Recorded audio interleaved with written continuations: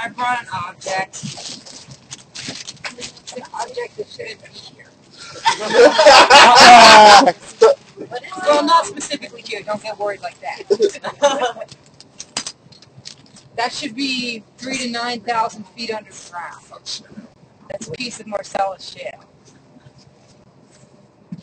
And I, I got it from a quarry in Bald Eagle State Park, which probably shouldn't have happened either. Um, not the fact that I got it, but the fact that it was a quarry. Um, and for me, the, the, the shale story, I don't know, it's kind of hard to get. Yeah. Still works. You're good, you're good. What got It's very good. Michelle, Michelle. Shale, right. That's Marcellus shale right there. I don't know if it's still got any natural gas in it or not. But Right out. somebody save it. um, right, so that should be in the ground. Um, and for me, it's kind of emblematic. I don't know how much everybody knows about drilling for natural gas in Marcellus shale. Um, but um, my own personal trajectory kind of I've always been interested in plants and things since I grew up. You know, even, even though I grew up in the city, and I actually, when I was like in seventh grade, I thought that all the plants in the field guide had gone extinct because I didn't see them anywhere. I was like, oh, that's a damn shame. There's no partridge berries anywhere. Um, but that's not really true. They just aren't inside the beltway. Um, um, but I did find like choke cherries in the unmowed corner of my athletic field at middle school, and I was really quite excited to find some cattails um, in between, like in a ditch next to the metro tracks, um, in between parking lot and metro tracks, things like that. Excited me when I was a kid. Um, so I kind of studied that stuff and always had an affinity for it, um, and um, that kind of prepared me to understand a little bit more about um, fast forward many years to being here, and um, I guess I'll, I'll stop along the way first. Um, moving to Pittsburgh for me was was a real eye opener because I didn't know what it looked like to live in a landscape where extraction and industries um, happen. So um, I got here and I saw it, and part of my job um, was to go around into different um, rural areas and kind of take stock of plants and animals there um, and try to encourage people to take care of them. And um, I saw the damage from acid mine drainage, and I saw the damage from strip mining, and I was like, shit, really? I thought this only happened in Kentucky like 70 years ago. No way, man because um, it's just like miles and miles of orange streams and strange barren moonscapes that things don't grow normally on and never will. Um, so I saw all that stuff and I thought, man, I, I can't, I can't leave here. And I saw Pittsburgh itself, which like, you know, um, I visited East Germany like I don't know, 2003 or something, and Pittsburgh looks more like there's been a war than um, East Germany does, and East Germany actually had a war. Um, and, you know, I think we're all familiar with the reasons why that happened in the city. We all live here, we understand. Um, but that was very striking to me as well. And I just couldn't leave until I could come to terms with these these consequences of, of the way that we live, you know, modern industrial capitalism. Um, I, thought, you know, I don't like it. I don't like looking at strip mines. I don't like looking at devastated neighborhoods. But I can't, I can't leave until I can come to terms with. Um, you know, I have as much responsibility for anybody to, to, to deal with this. Um, so, and I also like Pittsburgh and like Pittsburgh spirits and things that are possible to do here and the people that are here, um, the spirit of the people. So I stayed. Um, and then when a couple, you know, a couple years ago when this Marcellus thing starts coming down the pipe, haha, um, sorry, I was like, oh wow, I'm really pretty well prepared to understand this and help with this, understand what this is and, and help with this um, as, it, as, it, as it develops because it's, it's really incredibly destructive. Um, it sucks not just this natural gas out, but it sucks a lot of poison out of the earth and puts it into our environment and um, into the lungs and bodies of people who live near it. Um, and um, the reason I brought it tonight as an example of why we occupy is because the government completely threw open the doors to these companies to come and do this. And I mean, I was a Democratic governor, everything, and it's no stops, nothing. Uh, you know, Department of Environmental Protection, nothing. Like, I mean, I, you know, through my job, I have something of a, you know, inside perspective on what the government does about these things. I, you know, I, I, work in sort of a pseudo state function. Um, we work with the environmental agencies a lot. Um, it's just like they're spinning their wheels. They have no power. They're not doing anything. And this is ongoing, and it's happening again after strip mining, after the original round of natural gas wells that haven't been cleaned up. We're still polluting groundwater in a lot of places, and, and um, you know, so that's why I brought Marcellus Shale as a reason. Um, I mean, I've talked to a lot of people who are like, this is really happening here. I'm not sure I can live here. You know, I'm not sure I can live under the cloud of toxic pollution that is probably going to happen. In the process of happening. They dumped it into our rivers, our drinking water, for two years. That was legal. They did it. Who knows where it's going? It's causing earthquakes in Ohio. Anyway, um, I could talk about that for a long time, but there it is. Oh, here we go. one more thing. So, so, so something to me that's really exciting, and I'm glad that I kind of went in this part of the struggle. Is that for me, this is one of the first times that um, we're really in a struggle where, like, Yeah, we get it later. all of these people with these different concerns and different approaches are talking to each other. And to me, that's really important because it's the only way that we're going to win. You know, in, in following people, you know, different struggles around resource extraction, like very often those people are very alone. Um, you know, people dealing with longwall mining, dealing with local strip mining issues, dealing with water pollution in their community. They're alone, and other people, you know, they get really tired and they get burned out, and sometimes they move or they're trapped in poverty. Um, and you know, just to see the power of people with all these different issues coming together is, is kind of giving me hope on that front for the first time. Um, you know, and it just seemed for so long that it was so hard to get anywhere fights. Um, and and just um, you know, the, this very simple metaphor of like 99 and 1. Like, that's as simple as it is. And um, so that's cool. Thanks. To interrupt, but the brother standing at the pole was just standing outside, and he said, "I'm just glad to see y'all are still here." I said, "Well, well I told him what we're doing. I told him he's welcome to join us. So, welcome." Welcome. You gonna have a seat? Join us. We just tell you stories about why we're involved with Occupy. I'm glad to see the uh, the group, and I think it's a good thing. Thank you. I need people to be aware of so many things.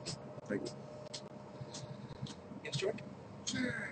Uh, so I'm Joyce, um, and I brought an object, but I'm going to see in a minute if I actually want to share it or not. Um, so I guess um, I kind of grew up in like a pretty punk rock scene and see racial shows all the time when I was in high school, and a lot of like talk about class and organizing and the government and all kinds of stuff is always sort of present, but uh, the actual like meaningful doing of things is often absent, aside from some like really chaotic rebellion, which was sort of like my mo through high school. Um, and I grew up in kind of a turbulent household in terms of like my parents and my brother and I dealt with some issues um, in our family of like alcoholism and drugs and physical abuse and things like that. And um, I was pretty wild in high school and ran away a lot and went to like three high schools until I ended up going to an alternative school, which is why I graduated. Um, but I never thought I would actually join the military. Um, And when the recruiter came to my high school, I was actually so like shitty to them that they wouldn't take my paper with my information on it. Uh, so, but I remember like, well, I graduated when I was 17, and it was in 2001, and I had no idea what I was going to do when I like when I, after that. I guess I worked in a gas station. I knew I wanted to get as far away from my family as I possibly could. Um, and I just like remembered this. Well, I couldn't find. I wanted a job doing something like more physical. I was interested in mechanics, and I remember the recruiters that I had like heckled so much, talking about how you could get like 300 bucks for a weekend worth of work if you joined the reserve, and we're just making like seven dollars an hour. And it was like, wow, I could like learn some skill and like get paid so much more than I'm making now for just like one weekend. So I started talking to a recruiter in September of 2001, um, and I basically decided to join. And then September 11th happened, and uh, my friend's mom was like, "Are you glad you didn't join now?" And I was like, "Well, that's kind of crazy. I guess if I was going to join before, I should have like been aware that this could happen, and maybe I should just like do it anyway." So I ended up going. Um, I signed up when I was 17. I went to boot camp in January of 2002. Uh, and I was only supposed to be gone for six months, I think, for training. And I ended up on active duty for like two years. Uh, and that for a lot of reasons. But uh, then as soon as I like thought I was getting off active duty, I went to a semester of school. War had already started. And then I got activated for four years, so I ended up on active duty for like four years. But uh, I didn't really think I was going to get activated to go to the war either.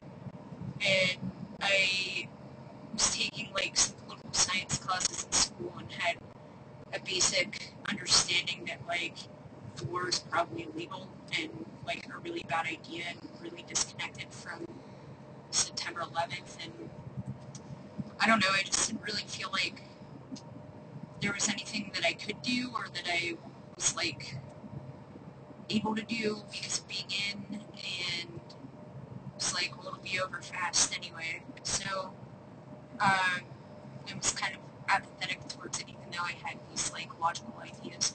So, um, anyway, I went through these two deployments, which maybe I'll talk about a little bit more if I share my objects. Um, and went through a lot both times, a lot, and then but didn't really put it together until like long after. Because as soon as I got off active duty, I just kind of tried to bury everything and be normal again, and like go back to my normal life, and um, was like very uncomfortable about telling people where I'd been and uh, why I hadn't been around or whatever. So I just didn't talk about it at all, and just like filled my life with stuff. And then eventually, like right before I was, I still had two years of reserve time. Um, when I got back to, so it was like going to Chatham and then like being in the Marine Corps one weekend a month, which was really like kind of mind blowing too because it was just such a huge contrast. So I felt like I was like figuring things out more rapidly than I can handle them. But I just stayed like really active and biked all the time and like played roller derby and drank beer. It was just like basically an explosion on wheels. Getting in the face all the time. Um, I was like a hand grenade on lots of wheels, moving very rapidly all through the city. Um, and somehow doing really well in school at the same time and never sleeping. So, um, then a couple things happened. First, uh, trying to, I have some memory issues and I'm trying to like think of how things happened chronologically. And I guess like the first thing was in 2007, I think. I uh, I got this scholarship to go study in Egypt, and uh, a lot of the writing for Pines, which is where I got it from, was about how like the war was bullshit, and I wanted to like find more constructive ways like meet people from regions of conflict and build some kind of like conflict resolution reconciliation process by like worrying about the cultures of other people. Um, and I wanted to go study Arabic and politics in the Middle East. So I went there, and that definitely, uh, I really sort of, a lot of things kind of came together for me, especially I had had this friend, which is a whole other story, uh, a couple of friends that lived there already that I knew from something else, and so I actually spent time mostly with like people that lived in Cairo instead of with other students, which I think really shaped the way that I started to look at things. Um, so then when I came back, uh, my next semester I took this class on Arab women writers and read this book called Baghdad Burning, um, which was a blog by a woman my age who had lived through the war at the same times that I was there. And I skipped like straight to all the dates that I remembered.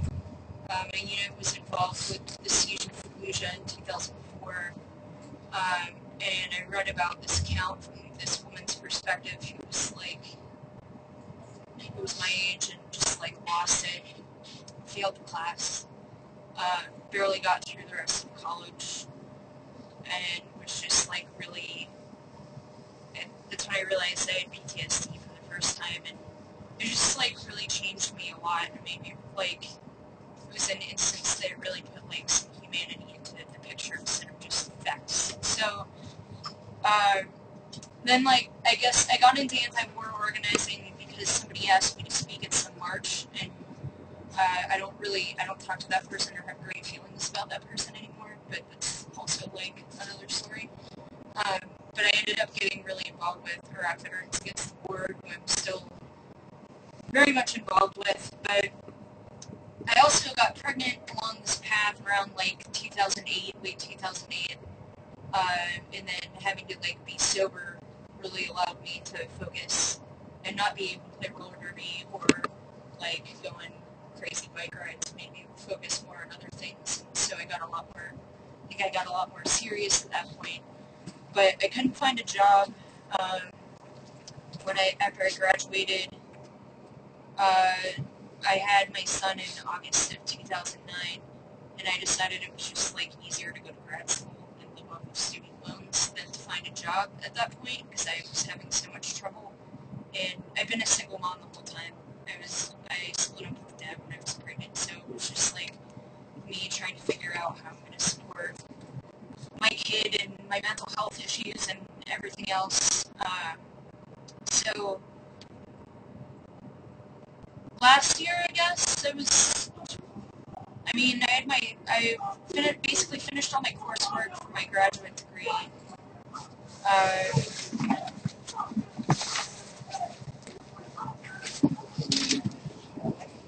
Can you hear this? I'm ready about Or you can just point it out to us.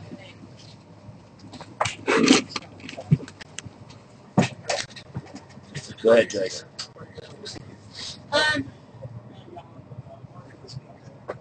Uh, anyway, so, uh, I basically was like at a point where I was finished and just needed to write my thesis, which is still where I'm at, um, but I can't get loans or funding to take a continuing credit or pay for childcare anymore. So that happened. I have this like all this work from graduate school that I can't use for shit.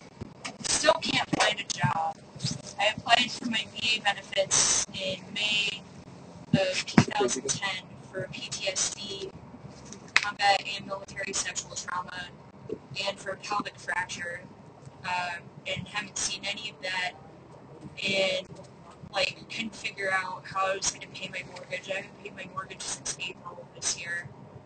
Um, and basically was just in a position where I felt like I couldn't go any further with my degree, couldn't graduate, can't find a job, can't pay my mortgage, can't support my kid, living on food stamps. And it was always like, well, next month I'll get my VA benefits and then everything will be okay. But every month it's been like that, and now it's been 20 months, and I'm not really counting on them anymore. So, right before Occupy started, Um, I've been talking to a group of people from Iraq Veterans Against the War about the possibility of setting up some kind of encampment at different um, people's homes that had at different people's homes that had some kind of like control over um, veterans benefits and the VBA and everything. Because I was just at a point where I was like, well, if I'm going to lose my house, I don't really have anything left to lose. I may as well just pitch a tent and live on it at this person's house so that when they have to get out of their like nice house every morning, they can see what I look like. Um, because I've been waiting on that and I can't, I don't have a place to live anymore. So I decided if I was going to get kicked out of my house, I just wanted these people to see, like in person instead of on paper, what a homeless veteran with kids looks like.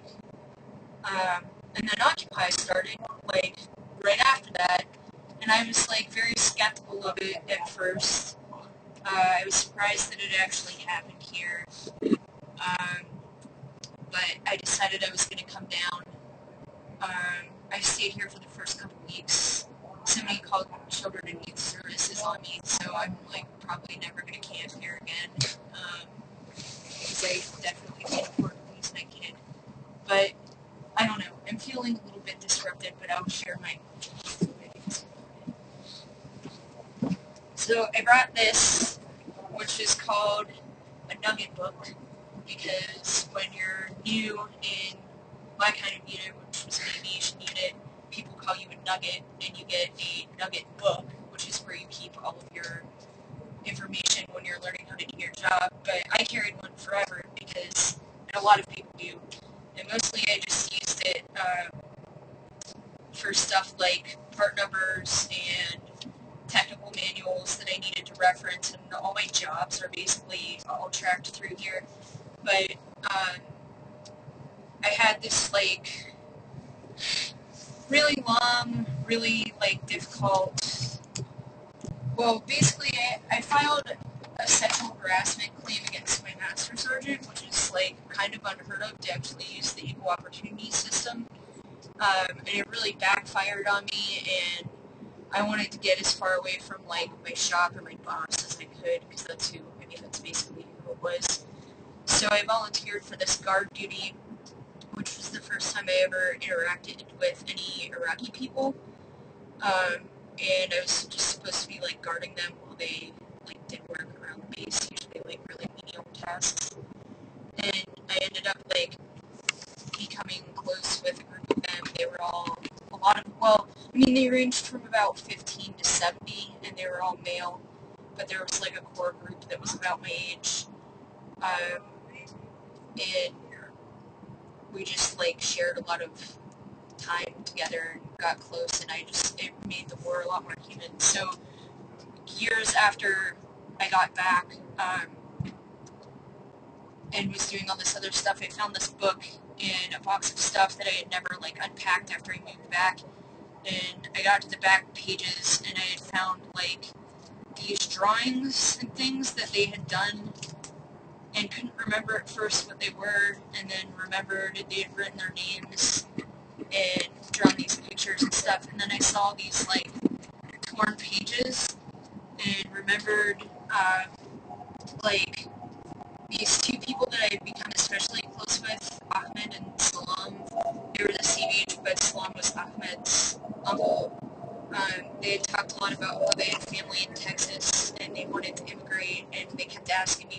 phone number so they could try to set up some kind of sponsorship just like through very poor communication language barriers too. And I didn't even have a phone number because I was deployed. I didn't live anywhere. I lived in a tent. So I had nothing I could give them. So on my last day, um, and this is like under, in this situation where we had to like burn all our mail because there was all this paranoia about the people working on base stealing our mail and finding our addresses. Um, and so I tore out these pieces and gave them my parents' address at home uh, because I just like wanted them to be able to leave so bad. And I, the thing is, like, I don't even know if they understood what it was because I couldn't communicate it well and there were like a lot of communication barriers. But I thought about them like all the time after I came back and I ended up like looking up the town that they live in on the internet uh, and finding out that the base that I was on was a British colonial base like a long time ago and that entire town had basically been in an economic situation where everyone was forced to like work for whichever occupier was there for chump change since like the 1800s. Uh, so I mean, I guess like on one hand, I ended up here because of my personal circumstances, uh, but on the other hand, I think that like the experiences that I relate to my deployment, to meeting those people, really shape the way that I look at activism and my time and my space here. Uh, in terms of acknowledging that like we're not the only people that are struggling. Uh, in fact, like even though I'm really struggling, like these people have been struggling so much longer in, in such a different way and are living in like a totally different reality. So I just often think it's important to like realize that this isn't just like some weird disruption of the American dream. This is like something that's actually global and all really connected.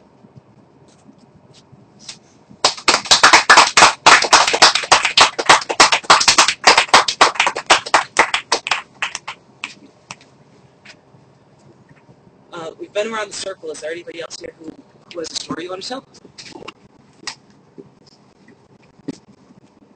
Um, all right. Well then, uh, I think that uh, tonight was really amazing. Um, I learned a whole lot about everybody. I uh, had, we've all at times been very frustrated with this project, frustrated with this camp, um, and it was really, really en- energizing for me to hear from all you about why you're here um, and what it is we're doing here. And hopefully we can use, uh, you know, what we've, what we've taken from each other, we've learned from each other about why we're here in helping to shape um, the, the, the project and movement uh, in the world that we want to build going forward. Uh, so thanks a lot. Uh, as a quick announcement, next Friday, one week from today, it's 6 o'clock, same bat time, same bat channel. Uh, we'll, we'll be having, going back to last week's format, we'll be holding the Organizer Storytelling Hour. Uh, uh, we're going to hear from three or four organi- uh, local organizers about the work they've been doing over over a period of time, more in-depth stories than we've been uh, than we've heard here, uh, and and the folks will be less theoretically, um, less on why we occupy and more uh, why we occupy the way that we do. Uh, Lainey is going to present, uh, and I don't remember who else, but we're gonna, uh, an announcement will probably go out over the uh, over the weekend. So thanks a lot for coming, and we'll see you all tomorrow and the next day and the day after that, and next week uh, right here. Thanks. Thanks. Alright, uh, just keep a heads up on the generator. The guy that tried stealing the generator last week's back.